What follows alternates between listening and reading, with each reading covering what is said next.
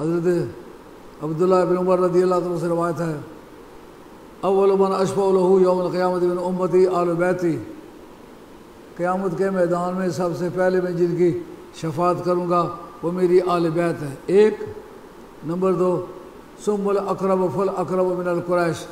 پھر قریشیوں میں جن کا رشتہ مجھ سے زیادہ قریب ہوگا، اس کی شفاعت کروں گا۔ چونکہ بعد میں اسی ترتیب سے مرتبے تقسیم ہونے ہیں۔ تو معلومہ سرکار کا رشتہ وجہ مرتبہ ہے۔ کہتے پھر جو جو جس جس ترتیب سے قریشی میرے رشتہ دار ہیں، اسی ترتیب سے ان کی شفاعت کروں گا۔ پھر فرمایا کہ میرے جو سم الانصار، پھر جن لوگوں نے مدینہ پہنچنے پر ہمارے ساتھ جانی مالی امداد کی، دو بیویاں تھیں، ایک بیوی چھوڑ کے سرکار کے صحابہ کے حوالے کی، جس کے پاس کوئی کھیت تھا۔ کھیت بانٹ کے دیا مکان ایک تھا، بیچ میں رسی ڈال کے، نشان کر کے، آدھا مکان صحابی کو دیا باجر کو دیا، آدھا خود اپنے لیے رکھا۔ جن کی زمینیں کافی زیادہ تھیں۔ نصف نصف کر کے جن کا بھائی بنایا، ان کو زمینیں تقسیم کر کے دے دی۔ تو پھر میں انصار کی شفاعت کروں گا۔ اور پھر سمن آمن و تبانی من آل الیمن۔ پھر یمنیوں میں سے جس شخص نے میرا کلمہ پڑھا، مجھ پر ایمان لایا اور میری پیروی کی، پھر ان کی شفاعت کروں گا۔ سم سائر العرب۔ سائر میں نے سارے نہیں، بقیہ۔ سائر کے معنی بقیہ۔ پھر باقی عربوں کی شفاعت کروں گا۔ سم العاجم۔ پھر اجمیوں کی شفاعت کروں گا۔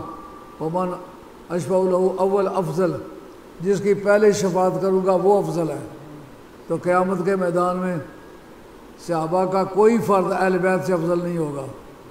اس حدیث نے بتایا ہے اعلیٰ حضرت اس کو ذکر کیا، یہ حدیث سید محب الدین تبری نے اپنی جو ریاض ریاض النظرہ ہے، اس کے جلد چارم کے اندر یہ حدیث بیان کی ہے۔ اور اس نے نور الابصار فی مناقب علیہ نبی المختار، انہوں نے بھی یہ حدیث بیان کی ہے۔ اور یہ حدیث امام الحمد وکیل نے سوائے کے مورکا کے اندر بھی بیان کی ہے۔ اللہ حاضر قیاس اس نے ثابت کیا کہ اولاد رسول قیامت کے میدان میں سب سے پہلے شفاعت ان کی ہوگی، جن کی پہلی شفاعت ہوگی وہ افضل ہے۔ کسی صحابی کی آل بیت سے پہلے شفاعت نہیں ہوگی۔ اس کا مطلب کوئی صحابی بھی آل بیت سے افضل نہیں سمجھا جا سکتا۔ اللہ حاضر قیاس، نبی پاک علیہ السلام وسلم کا جو ارشاد ہے المادی منا آل البیت اگر یہ رائے صحیح ہوتی کہ سیدہ فاطمہ نے جو اولاد اس وقت پیدا کی ہے، اس کے سوا جو ہے وہ اس سے مراد نہیں ہو سکتے۔ یہ حدیث ان کے، یہ آیت ان کے حق میں نہیں جا سکتی۔ اگر یہ صحیح ہوتی تو پھر حضرت نبی کریم یہ نہ فرماتے، المادی و منا آل البیت وہ تو حضرت سیدہ فاطمہ نے براہ راست نہیں پیدا کیے تھے نا۔ فرمایا، امام مہدی جو ہے وہ بھی ہماری آل بیت میں سے ہے۔ یعنی آل بیت کا کوئی فرد جب تک کفر نہ کرے، اس وقت تک اس شرافت سے محروم نہیں ہوگا۔ کیونکہ یہ فضل فضل الہی ہے۔ یہ فضل اختصاصی ہے۔ فضل اختصاصی کا زوال سوائے کفر کے نہیں ہوتا۔ اب جب حضرت یعقوب علیہ السلام کی اولاد کو جو فضیلت ملی، سوائے سرکار کے ساتھ کفر کرنے کے، اور کسی وقت بھی وہ فضیلت ان سے زائل نہیں ہوئی۔ اس کی کیا وجہ ہو کہ ان کی فضیلت تو زائل نہ ہو؟ لیکن نبی کریم علیہ السلام کی اولاد کی جو فضیلت ہے، وہ صرف امام اصل اور امام حسین تک رہ جائے۔ اللہ حضر قیاس۔ کہا کہ ان اللہ حصطفیٰ آدم و نوح و اعلیٰ ابراہیم۔ آدم علیہ السلام کو فضیلت دی کہ وہ مسجود ملائک بنے۔ ہمارے عقائد نے شرح عقائد کا جو آخری پیراگراف ہے، اس کے اندر یہ بحث ہے۔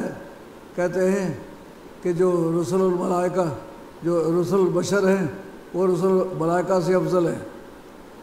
اور جو عام ملائکہ ہیں، ان سے عام انسان افضل ہے یہ بات موجود ہے۔ اس کی وجہ کیا ہے؟ کہ اس کی وجہ آدم علیہ السلام کے سامنے سجدہ کرنا ہے؟ اس سجدے میں یہ بھی حصہ دار ہے عام انسان، عام ملائکہ سے افضل ہے وہ عام کی تفسیر میں کچھ وہ کہا ہو، ولی اللہ ولی اللہ، شہید شہدا مجتہدین، وغیرہ وغیرہ۔ مگر ان کو جو فضیلت فرشتوں پر ملی ہے، اولاد آدم ہونے کی وجہ سے ملی ہے۔ اگر کئی لاکھ برس گزر چکے تو اولاد آدم کو آدم علیہ السلام کے سامنے فرشتہ، فرشتوں کے سجدہ کرنے کی فضیلت آج بھی حاصل ہو۔ اور یہی وجہ ہے کہ دنیا کے ہر جانور کا چمڑا اس کو آپ دباغت دیں، پاک ہو جائے گا، اس پر نماز پڑھ سکتے ہیں۔ لیکن انسانیت کا تقدس ایسا ہے انسان کا چمڑا پکا کے اس کو آپ دباغت دے کے اس کا جوتا بنائے یا اس کے لیے پوستین بنا لے یا مسلح بنا لے، وہ استعمال کرنا حرام ہے۔ کیوں؟ کہ یہ آدم علیہ السلام کے ادب کے خلاف ہے۔ وہ تو آدم علیہ السلام تھے، آج یہ منع کیوں ہے؟ آج منع اسی وجہ سے ہے کہ وہ اولاد آدم ہے۔ اولاد آدم ہونے کی وجہ سے ان کا تقدس آج بھی سلامت ہو۔ تو پھر نبی کریم علیہ السلام کی اولاد کا تقدس کیوں جناب سیدہ فاطمہ کی اس اولاد پر موقوف ہو جائے جو اس خود انہوں نے پیدا کی تھی۔ اور اس کے علاوہ آپ دیکھتے ہیں، آپ نے یہ مسئلہ پڑھا پانی کے بحث میں کہ اگر کوئی آدمی کافر ہو، سکھ ہو، ہندو ہو، عیسائی ہو، وہ پانی پی لے، اس کا جھوٹا ہو، اس سے آپ وضو کرنا چاہیں، کر سکتے کہ نہیں کر سکتے؟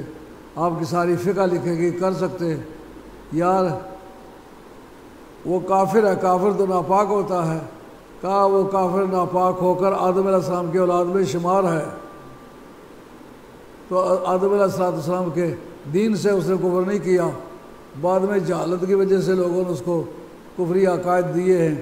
اس لیے انسانی شرافت اس کو آج بھی حاصل ہے۔ اسی وجہ سے اس کا جھوٹا جو ہے وضو کے لیے استعمال ہو سکتا ہے۔